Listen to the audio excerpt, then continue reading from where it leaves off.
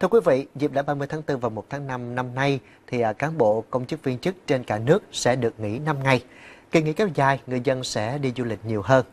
Là vùng biển thì Bà Rịa Vũng Tàu sẽ là một trong những địa phương được nhiều gia đình chọn làm điểm đến trong kỳ nghỉ lễ sắp tới, đặc biệt là các bãi tắm biển trên địa bàn tỉnh Bà Rịa Vũng Tàu được dự báo sẽ tăng đột biến. Và điều này càng đặt ra những áp lực rất là lớn trong công tác đảm bảo an ninh trật tự, an toàn xã hội và an toàn giao thông trên địa bàn tỉnh. Những diễn biến tình hình và giải pháp để đảm bảo an ninh trật tự an toàn xã hội sẽ được các lực lượng chức năng triển khai ra sao? Chúng ta sẽ cùng tìm hiểu trong gõ cửa ngày mới hôm nay với Đại tá Bùi Văn Thảo, Giám đốc Công an tỉnh Bà Rịa Vũng Tàu. Xin chào đại tá, cảm ơn đại tá đã dành thời gian cho buổi phỏng vấn của chúng tôi. Thưa đại tá thì à, dịp lễ 30 tháng 4 và 1 tháng 5 đang đến rất là gần. À, đại tá có thể nhận định gì về diễn biến tình hình tội phạm trong dịp lễ năm nay ạ? Dịp lễ 30 tháng 4, mùng 1 tháng 5 năm nay, người dân được nghỉ 5 ngày với cái điều kiện thời tiết nắng nóng thì tỉnh Bà Rịa Vũng Tàu có lợi thế về du lịch biển sẽ thu hút hàng ngàn lượt người du khách đến nghỉ lễ. Vì thế, lượng khách tập trung về tỉnh sẽ đông. Đây cũng là điều kiện thuận lợi để các đối tượng lợi dụng gây dối an ninh trật tự và thực hiện các hành vi vi phạm pháp luật. Nhất là các đối tượng hình sự trong tỉnh và các tỉnh khác kéo về Bà Rịa Vũng Tàu để thực hiện các hành vi như trộm cắp, cướp giật, móc túi, và có khả năng xảy ra tình trạng ùn tắc giao thông và tai nạn giao thông có khả năng xảy ra nhiều hơn. Lực lượng công an tỉnh đã chuẩn bị cái phương án đảm bảo an ninh trật tự trên địa bàn tỉnh Bà Rịa Vũng Tàu trong dịp lễ năm nay như thế nào? Công an tỉnh đã có kế hoạch để triển khai các phương tiện lực lượng để đảm bảo an ninh trật tự, phòng chống cháy nổ trong dịp lễ. Trong đó tập trung chỉ đạo các đơn vị nghiệp vụ công an các địa phương thực hiện tốt một số nhiệm vụ sau đây. Một là tăng cường lực lượng xuống địa bàn nắm chắc tình hình cơ sở nhất là những nơi tổ chức các cuộc vui chơi, giải trí, lễ hội,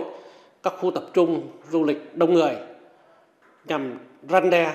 phòng ngừa, phát hiện và bắt giữ xử lý các đối tượng có hành vi vi phạm pháp luật, tăng cường công tác quản lý nhà nước về an ninh trật tự như quản lý lưu trú,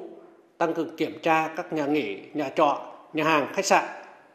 kiểm tra công tác phòng cháy chữa cháy và kiểm tra đảm bảo vệ sinh an toàn thực phẩm. Lực lượng cảnh sát giao thông sẽ tăng cường lực lượng bố trí điều tiết giao thông, không để xảy ra tình trạng ùn tắc giao thông trên địa bàn tỉnh.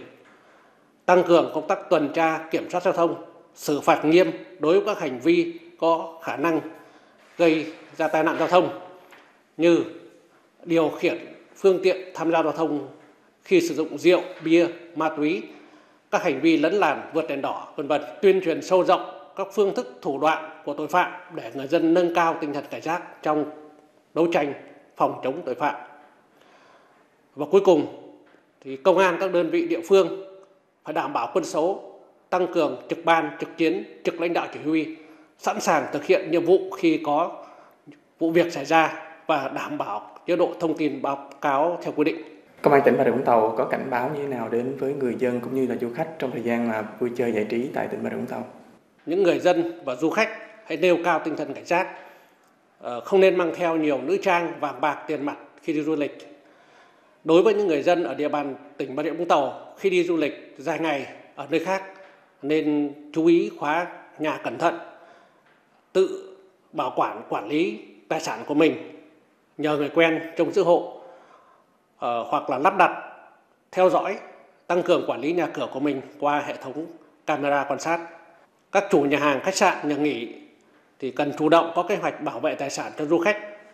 Khi người dân phát hiện các đối tượng thực hiện các hành vi vi phạm pháp luật như móc túi trộm cắp gây dối trật tự công cộng thì đề nghị kịp thời bắt giữ và giao cho cơ quan công an gần nhất để xử lý. Một lần nữa xin được cảm ơn đại tá đã dành thời gian cho buổi phỏng vấn của chúng tôi. Để kịp thời phản ánh tình trạng mất an ninh trật tự, người dân và du khách cũng có thể thông tin qua số điện thoại đường dây nóng của Công an tỉnh theo số 0693 545 377. Với những giải pháp và sự phối hợp chặt chẽ giữa các lực lượng chức năng và từng địa phương, hy vọng dịp lễ này, du khách và người dân tỉnh Bà Rịa Vũng Tàu có được thời gian vui chơi giải trí an toàn lành mạnh.